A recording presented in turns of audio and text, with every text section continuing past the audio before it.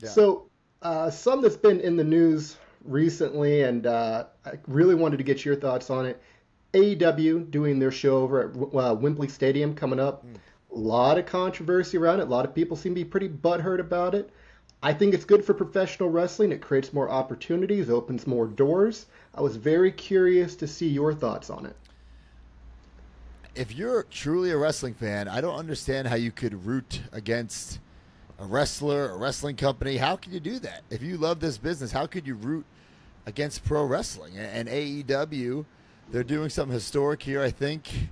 Last time I checked, over 50,000 tickets sold for Wembley Stadium. That's that's fucking incredible. That's a win for pro wrestling. So, if there's anybody who's hating on that, man, look at the mirror and hate yourself. Jesus Christ.